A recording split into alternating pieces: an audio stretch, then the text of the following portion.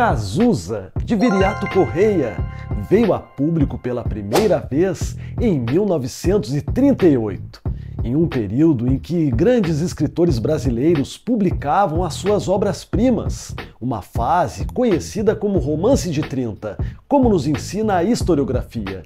Ainda que o cânone não tenha se rendido a essa verdadeira joia da nossa literatura infanto-juvenil, há 85 anos, incontáveis leitores têm se emocionado com Cazuza, uma narrativa nostálgica que resiste ao passar do tempo. Salve, salve, garrancheiras e garrancheiros! Sejam bem-vindos! Eu sou Oswaldo Arthur.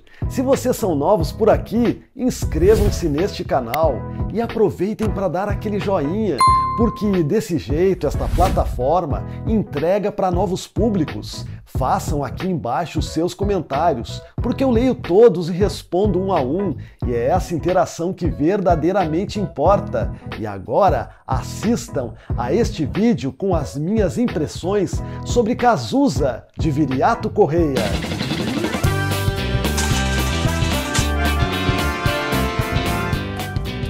Neste que já é considerado um clássico, talvez o tom moralizante com o qual o autor encerra cada capítulo seja responsável pela poeirinha acumulada aqui e ali nessa história, fazendo críticos mais arrojados torcerem o seu sensível nariz. De qualquer maneira, o que o imortal da Academia Brasileira de Letras nos deixou como legado por meio do seu mais famoso livro é o registro, embora ficcional, de um Brasil profundo e de um tempo em que a infância era vivida na sua plenitude.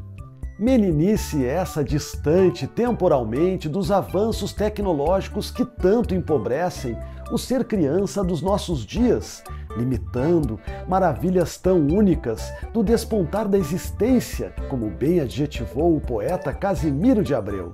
O nosso protagonista é um garoto cheio de vida, ávido por aprender. Mas seu encanto pela escola logo termina quando as suas expectativas são frustradas diante da realidade. O seu primeiro professor, o velho João Ricardo, é bastante severo e se vale da palmatória e em qualquer caso de deslize ou desatenção, principalmente na hora da sabatina da tabuada ou das conjugações verbais. Tais abomináveis sessões de tortura põem Cazuza em sofrimento e também os seus colegas. Prática nada pedagógica fortemente criticada pela mãe do menino indignada em lágrimas. Ela é peremptória, mas não há necessidade de arrebentar a mão das crianças. Para vocês terem a noção de como isso é retratado, deixe-me ler aqui um trechinho, na página 52 desta medição que sai pela IBEP Jovem. O professor bradou-me, agitando a palmatória. Não quero gritaria aqui, vá se acostumando a apanhar calado. Fui para o banco a soluçar baixinho. Meu coração estava cheio de amargura de quem sofre uma injustiça. Eu não sabia qual tinha sido a falta que me fizera merecer as palmatoadas. João Ricardo pôs-se a passear junto da grande mesa, as mãos para trás e um todo ameaçador de quem ainda estava com vontade de castigar. Ninguém se mexia, Ninguém falava. A despeito de seu tom de denúncia contra métodos ditos educativos tão retrógrados, aqui os pontos altos ficam por conta da cor local e da linguagem. O interior do Maranhão e a sua capital, São Luís, são pintados com as tintas do neorrealismo, apesar de um certo ufanismo passadista. Característica essa comum ao romantismo, e também a produção literária dos primeiros anos do século XX, sobretudo na era Vargas, que se voltou à promoção do nacionalismo.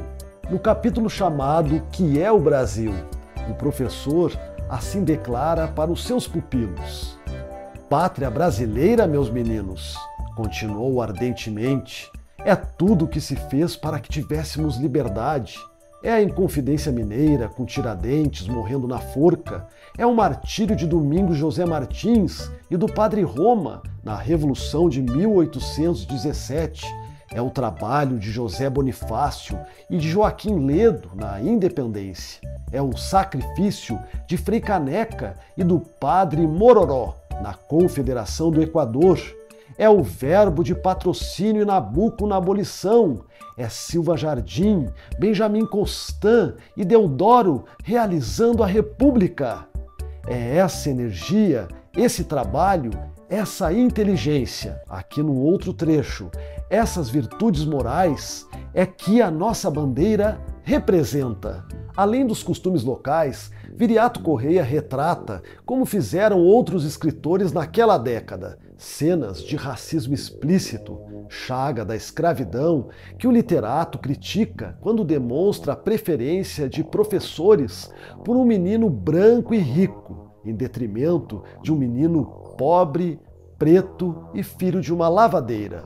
Entre o Floriano e o Jaime, a diferença era profunda.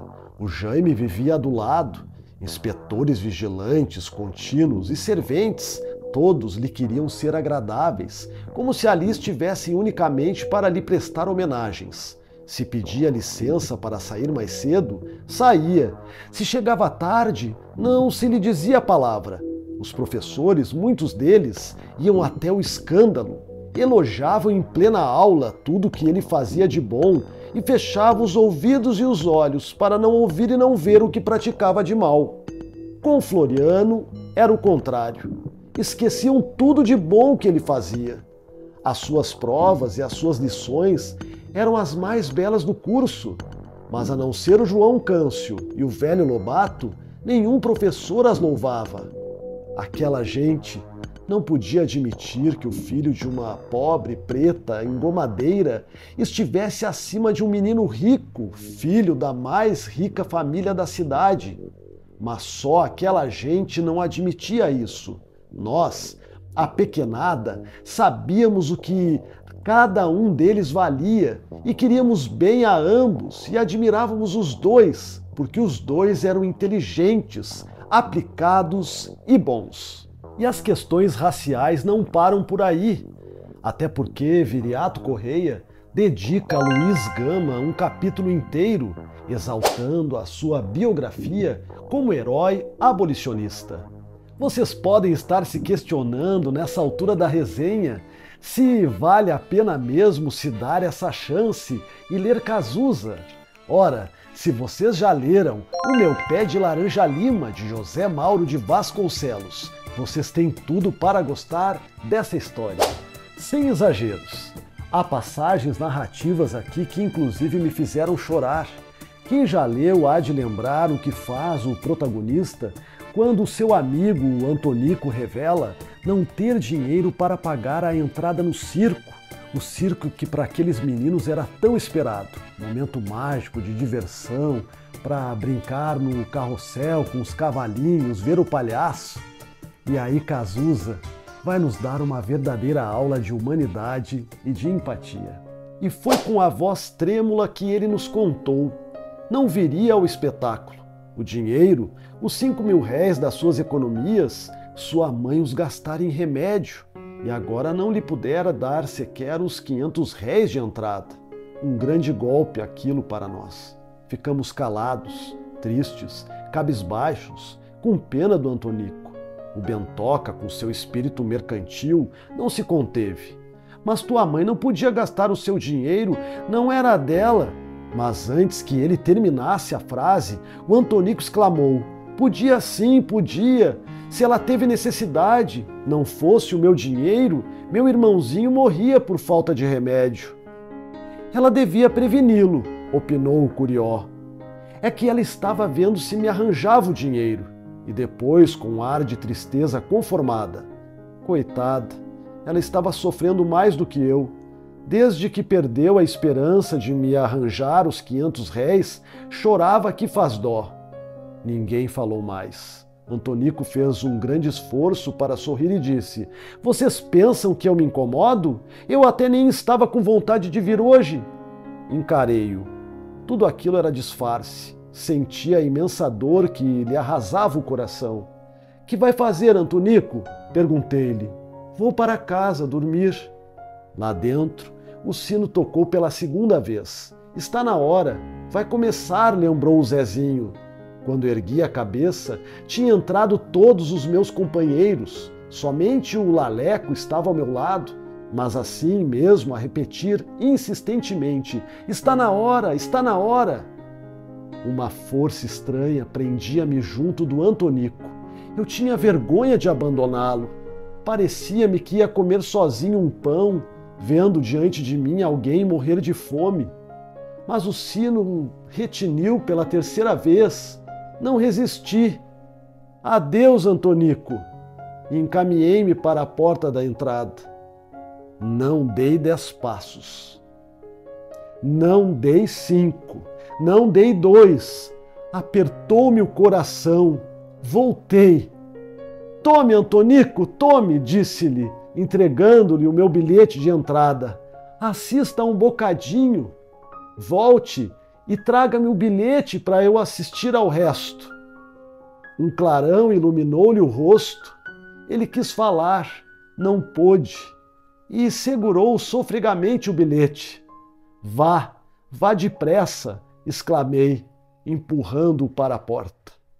Por fim, mas não menos importante, eu quero agradecer imensamente ao Carlos Nunes, colega e amigo do canal Livros e E-Books, que me regalou com este primor. A ti, meu querido, a minha gratidão.